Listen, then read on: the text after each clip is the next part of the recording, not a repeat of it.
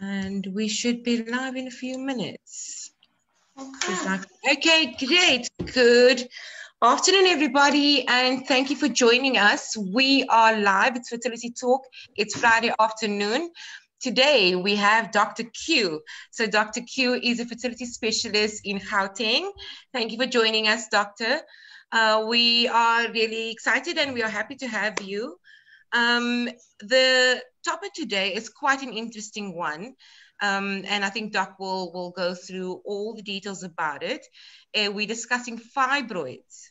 So this is a subject that we get a lot about, and I honestly, I don't have, because I don't suffer from it. I not not because I don't suffer from it, but because I've never really dealt with it at all. So I don't have that much information about it.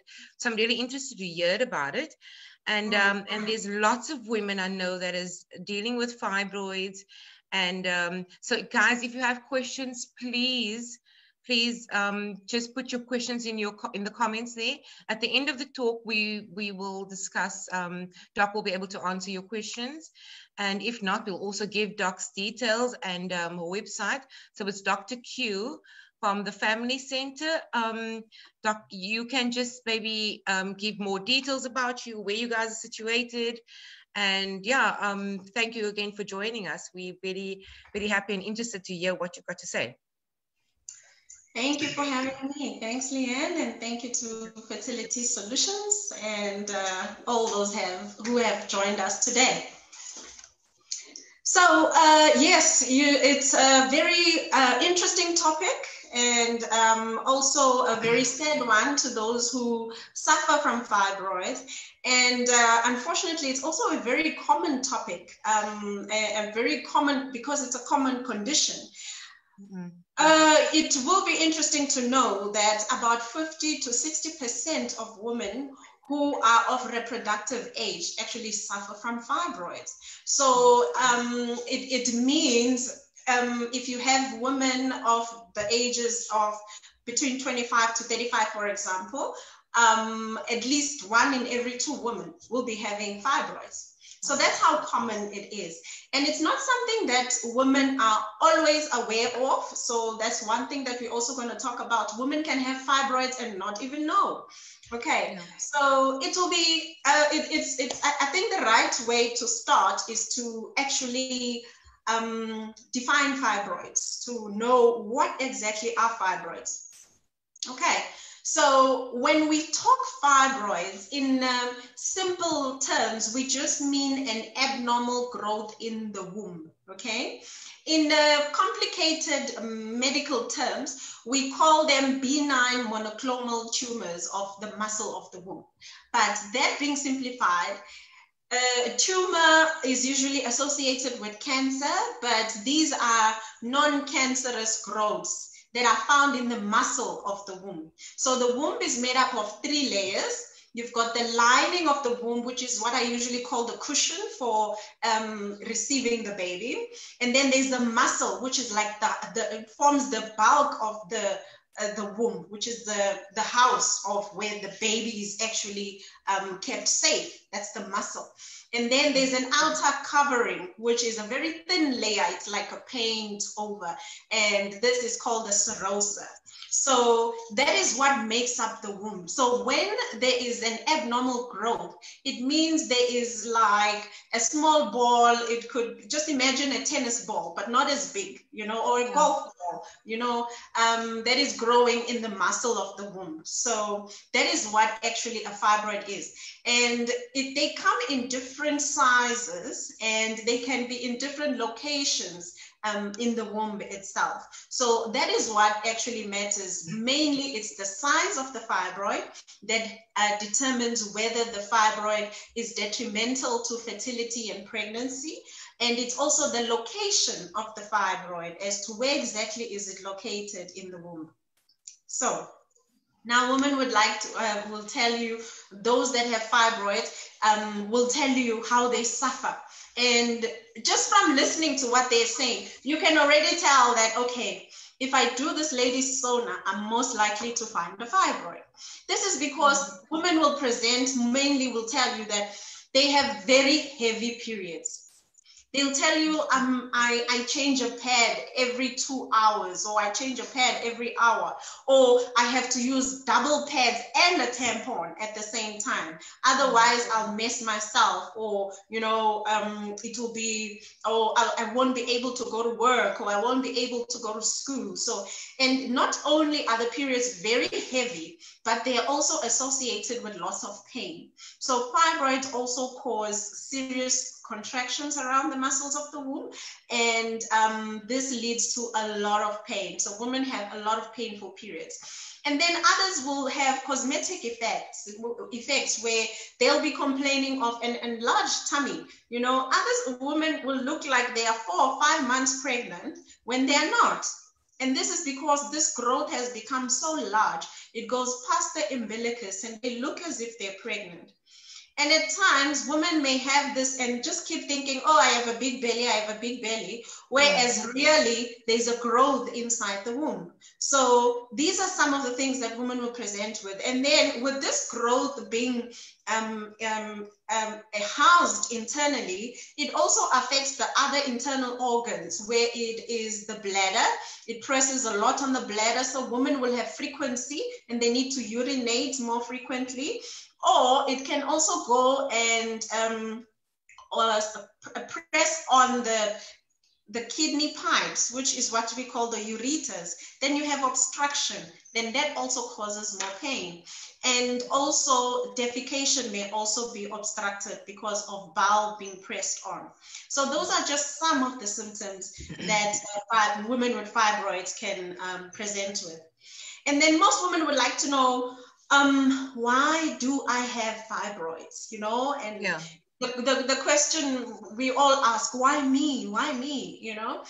Um, unfortunately, we don't have all answers to that. But we can say that some um, women that have fibroids, you find that mostly it's hereditary. So if your mother uh, was affected, then you and your sisters will most likely be affected it can be um, something that runs in the family. And unfortunately, again, it is quite, it, it is found to be quite common in women who are of African descent. So black women in South Africa and mostly women in um, um, northern um, African countries are also having a very high rate of uh, fibroids as well.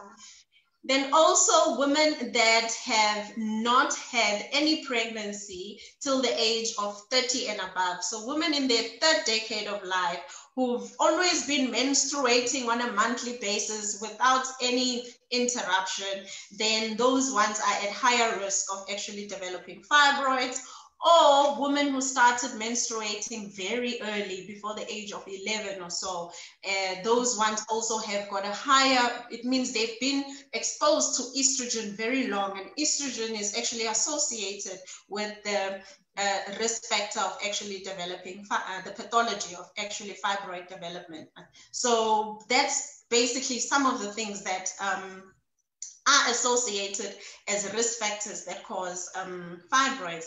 Um, and another issue that we can't do anything about is age. So the more we grow or the more we advance in age, the higher the risk of actually developing fibroids. Okay, and things that are lifestyle related are high caffeine in, in, intake. So those ladies that love their coffee and have all these other things. okay, I've got an option for you. It's clear. I should, I should, it's I know. water. okay, so that's a healthy option. So high increased, uh, um, increased uh, caffeine intake, smoking, we know almost every problem uh, health and related has yeah. something to do with smoking and alcohol. So smoking and alcohol also increases the chances or the risk. And also having uncontrolled uh, blood pressure can also result in uh, fibroid development. Yeah. Wow. Okay. So yeah. Then some of the things also um, uh, when it comes to fertility Yeah. So women mostly want to know can i can you can you just focus on my fertility and not worry about fibroids? I don't want yeah. an operation or i don't want you to do anything else on me but give me a baby you know? Yeah. So this i usually use this example when um, it comes to fibroids and fertility. Take it that yes you want a baby now we said the womb is the house of the pregnancy okay now, if let's take it as if you want to plant a peach tree, you've got the seeds and you need the field for your peach tree to grow. When you get to your field and you're carrying your seeds, you find that in the field there's huge rocks in this place, lots yeah. of stone, lots of cement, and you want to plant in this field. So basically, it's as simple as that. Because if you throw your seeds in that field on top of the cement, there won't be yeah. any root penetration. There won't. Then your seed will not be getting good um, inflow of water and sunlight and all that. Then you won't get a good peach garden. You understand? Yeah. So before yeah. you plant in that field, you need to go first, remove all those rocks, remove all that cement and get fertile ground. Then you can take your seed and plant it properly in the land where it can penetrate and let the roots reach good supply. So that's what a pregnancy is also like. So if we get to the womb and there's rocks there, as I said, fibroids are, are, are, like tumors, these abnormal growths. So if we get there and you want an, a pregnancy to implant, and this is close to the lining of the womb, then the, the, the penetration of the placenta will not be deep enough to hold the pregnancy. And the baby will not get good blood flow and will not get good oxygen. And therefore that pregnancy may result in a miscarriage. And if mm. it if if, if any implantation has taken place it may go over maybe to be even an advanced pregnancy, but has a high risk of being a preterm labor because everything starts at the point of implantation. Yeah. So that's how fibroids actually affect fertility. And that's why it's important to actually remove, or it's recommended yeah. to actually remove the fibroids first. Then you've got a proper, complete house that is ready for implantation. Wow. Okay, so um, what I'm hearing, Doc, is that um, we definitely, that is why we actually definitely need to go and see a gynae at, at, at some point um, and go and see before we decide to even go, um, you know, I, okay, I want to fall pregnant now, I want to try and conceive. It's important to actually go for your checkups and go for your test. Make sure that your house is in order yeah yes, before yes. before you start doing it which is yeah absolutely um so what what would you say i'm just gonna while while you're talking and i'm gonna actually go and look at the um the questions that we have here um that mm-hmm. are sent so we've got a few comments um okay it's the my, my question first is what would you recommend to someone that that is um that has fibroids, what would the first step be? Going to going to a doctor, um, you know, coming to see a, a, fertility specialist or going to your gynae and having them removed, and what they can what can they do in their daily life to ensure that you know it doesn't return, or is it something that you can stop or can't stop? Yeah, yeah, okay. So basically, I want a woman to know that, you know, not every diagnosis of a fibroid equals surgery. Okay. So if you go to a doctor and it happens to be an incidental finding, you don't have all these symptoms that I mentioned before, and um, you are told that you have fibroids, okay, then it depends on your current situation then are, you symptomatic or not? Are you having pain? Are you having abnormal bleeding? Are you anemic or not? You know, and if those are not your problems, and um, are you done with your family making, or would, would you still like to have kids? Are you do you plan on having kids now or six years from now? You know, so all those are all the things. So every treatment is individualized. It's not a okay. one cap fits all kind of yeah, yeah. Uh, approach. So look at what your priority is and where surgery is mostly indicated is number one, if the woman has abnormal uterine bleeding, where the periods are heavy and they may even end up being anemic and, symptomatic or if women have unbearable um, severe abdominal pains or menstrual pains that they are asking for treatment for and it's most likely associated with fibroids. And yeah. if the, the fibroid is located in the area of the womb where it is it can affect the pregnancy. So those are just at the top of my head the Uh, the indications of actually removal of fibroids. And if the fibroid is there and it's far off towards the end of the womb and it's not affecting the inner center where implantation takes place and you're not even symptomatic, then there's really no reason for you to actually no. worry about a fibroid being removed. So it's usually a fibroid that is at least five millimeters towards the inside of the womb or a fibroid that is above five centimeters that needs to be removed. Okay, so then I've got a, thank you, doctor. I got a question from Ponso. It says, um, so she says, I was diagnosed with intramural fibroid about 2.5 centimeters in 2017, but now all the symptoms I had are gone and trying for a baby. What are my chances of conceiving? Um, I know that that might be a difficult question to answer, um, because it would depend on you having, you know, doing the, the necessary checks and stuff. But, yes. uh, but I think what she's asking is, is does, because, the, because she's got no symptoms, should it be okay? You know? Yeah. Look, as I said, um, if the fibroid is still less than five centimeters, even if it's intramural, then we just want to know, is it close to the lining of the womb or not? If it's less than five centimeters, it's far away from the lining of the womb, then it should not affect her, um, her fertility much. So okay. if she asks, what are my chances of falling pregnant? Well, that depends on a, a whole lot of other factors. Yeah. How old is she? Are her tubes fine? You know, and all those things, and her ovarian reserve. But as far as the fibroid is concerned, she's asymptomatic. It's a small fibroid. It's not lying close to the cavity. Then she should be fine. Okay, great. And then Alicia is asking, can fibroids be removed and is it painful to remove it? Yes, but you don't feel okay. the pain when we do it. Yeah. so yes, uh, fibroids can be removed. There's a few ways that fibroids can be removed. If we remove them surgically, then um, we put you to sleep so you don't feel the pain. So at that time, yes, it's not painful.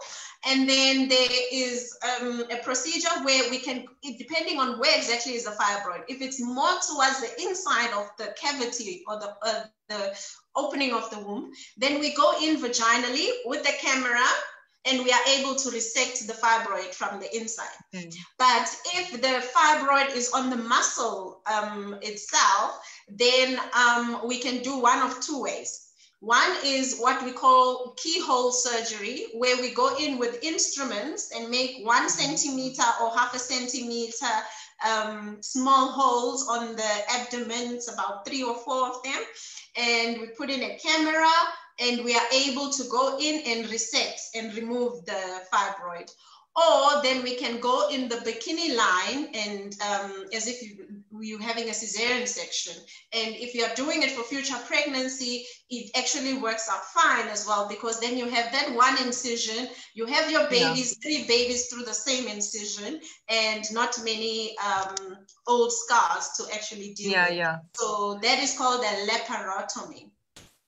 Okay. okay. Yeah. So then we have another one. Um, so as I'm reading your questions, it's like you've already answered some of them, but I'm going to ask it because because ladies asked it. You've answered it in, in your talk.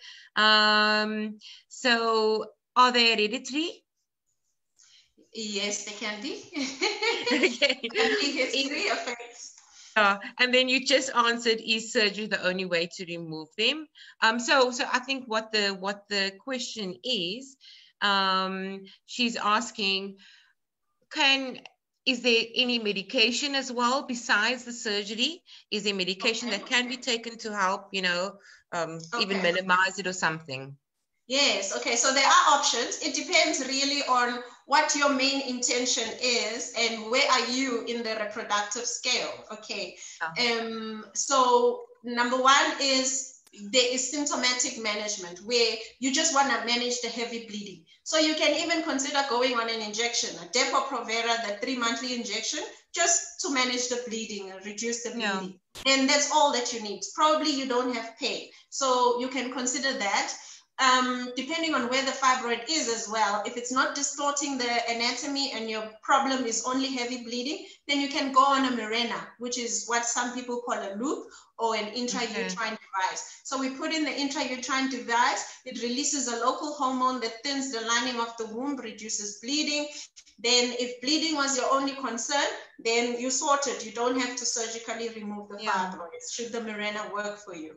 Then even oral contraceptives as well, just being on an oral contraceptive, uh, it regulates your period. It gives you fewer days of uh, menstruating and you can know when exactly you're menstruating. So those are the medical ways of actually treating fibroids. There are other drugs that can actually reduce the size of the fibroid. But these drugs, they are called GnRH um, agonists, okay?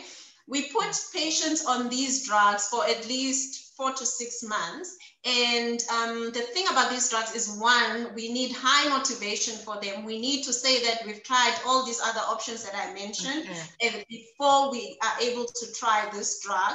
And um, they are able to reduce the size of the fibroid, reduce heavy bleeding. They are unfortunately associated with other side effects like hot flushes and you know other symptoms of menopause, mood swings and all that. But then we put you on an oral contraceptive to try and counteract those results. So this is for people who say, look, I've got fibroids, I don't need other things, I just want them to be managed or to manage the symptoms. Yeah. Then they can go on G- GnRH agonist and um, that is only for a short time.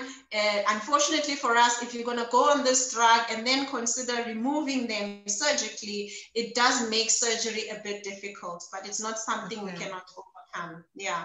Then there are drugs called um, sperm, SPRM, selective progesterone receptor modulators. Unfortunately, they're not in the country as yet, but if you've got relatives in the US or somewhere who can get you these drugs, Mostly they are used also for like three to six months, depending on the size of your fibroids. They're not uh, um, recommended for huge fibroids that we see mostly in our country, yeah. you know, like a 24 week plus kind of wow. uh, uh, size of a fibroid. But in uh, small sized fibroids, mostly less than 10 centimeters, they are able to reduce the size of the fibroids over time. Okay, so those are the medical uh, options. And then this, but um, do note that they don't completely take the fibroid away. So if you are planning for fertility purposes, the best option will actually to be to get the fibroid surgically removed. And the other method of treating without surgery or medication is what we call uterine artery embolization. This is done by interventional radiologists, and they are able to inject something like a dye that goes and blocks the blood supply to the uterus. So when it blocks the blood supply to the uterus, it reduces blood supply to the fibroid. Then the yeah. fibroid starts shrinking because it's not being fed anymore, and that way it dies off. It's a very controversial topic when it comes to discussing this with us fertility specialists because we are of the school of thought that when they try to reduce blood supply to the ovary, there is some unintended um, um, spread of the, um, the, this device into the ovarian blood supply. So if you are somebody who has fibroids and would still like to have kids in the future, Personally, we don't recommend that you have uterine artery embolization because it can also affect the seed, your ovary as well. Yes, yes, and then yes. you have reduced egg quantity. Wow. So it's mostly okay. for people who have completed their families and they just want to yeah. resist bleeding and stuff like that. So, so is it, am I right saying it's um is fibroid? So if if if I have, for example, if I had a fibroid and fibroid is doesn't matter what the size of it is, um, and I have it removed surgically, does it mean I'm continue I'm always going to get it all the time? I'm prone to getting it all the time, or once it's gone, it's gone. Um, mostly, once we remove it, it's removed. I think okay. the people who would maybe have fibroids, uh, fibroid this year and a big fibroid next year, it's maybe when the surgery is done and some fibroids are still small but left behind, then those yeah. are the ones that actually then are increasing over the years. But if we manage to remove all fibroids that are palpable, uh, if it's open surgery or that are visible, then um, women can go on for years without having any fibroids um, recurring, actually. Perfect. Um, then we've got another question from Faith. Faith asked, is it true that if you have fibroids, you have a discharge? You or you're prone to having discharges? Um, not necessarily. Um, it may happen that you see fibroids are associated with abnormal bleeding. So if you have fibroids, it doesn't mean now that you must be fine if you're having an abnormal discharge. And I think again, it must be one needs a better description of that discharge. Is it offensive? Yeah. Does it have a bad smell or odor? You know, um, what color is the discharge? I mean, because any discharge that is offensive is not right, whether you have fibroids or not. Okay. Okay. And any funny looking discharge um, that is away from clear or white is also abnormal, whether you have fibroids or not. So it depends on that discharge that you have. Okay, the last question we have um, is a lady asking, um, okay, I don't have a name with this one. So she's asking if you're over 50 and um, you're obviously not wanting to have babies or anything, would it be, and you've got fibroids, um, would, would it be recommended to actually remove your womb in that sense? Okay, um, a womb that is not troubling you, you would rather not remove it unless there are problems. So when you have fibroids and you are menopausal, it depends again, when did those fibroids develop? Did you have yeah. it before and you were fine and now you've menopaused? The good thing about menopause though is that fibroids no longer get the estrogen because when you've menopause, there's a reduction in estrogen and fibroids feed on estrogen. So therefore, it is understood that when you're menopausal, all the symptoms of fibroids should die. But I must say, um, having said that, that menopause is also associated with a higher risk of cancers, be it ovarian or endometrial cancer and so on.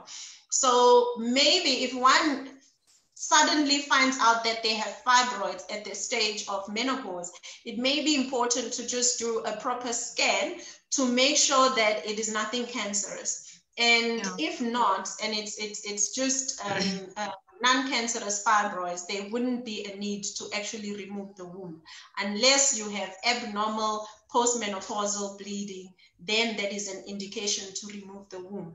And then other women want to know, should I remove the womb or should I remove the fibroids?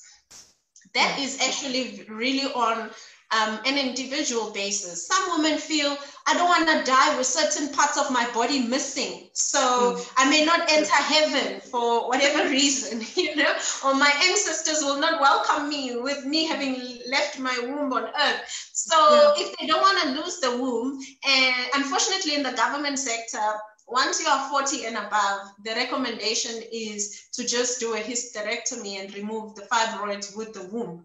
But in the private sector, if you can pay for just removal of the fibroids, then we do what you want. You know, if you want to yeah, keep your yeah. womb, we just take out the fibroids and you keep your womb. And if you yeah. feel, look, uh, I don't want to bleed anymore. I don't want to be doing pap smears anymore. I'm fine as I am take this out, it's done its job, then yes, we can take out the fibroids with the womb same time and you're done. No more bleeding, no more risk of cancer of the cervix or the womb and uh, no more pap smears. So yeah. it's really on an individual basis. Okay, I've got one question, one last question for you, Doc.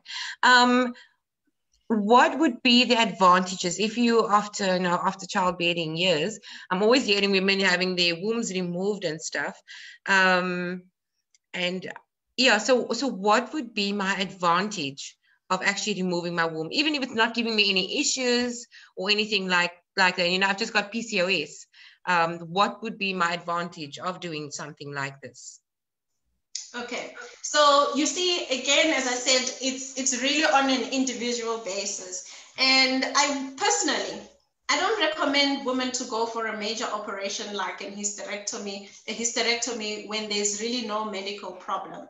So yeah. I, I I had a 28 28 year old uh, just yesterday saying to me why are you guys not wanting me to remove my womb? I have one baby and I'm done. I've had hell enough and I don't want any more. It's my body. yeah, yeah. It's my body. So why are you saying no? You know? And I, I even said to her, let's say you go in and there's a complication. I go to remove your womb because you're just fed up and there's a complication. And now I have to stand before the court of law and say, why was I removing your womb? What leg do I have to stand on? What was it that was troubling you so much that I would choose to put you under anesthesia and put you through the surgical risk?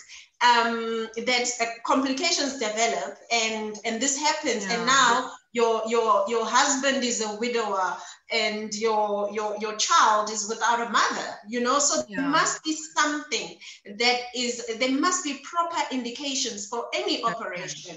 And it must be that benefit versus risk.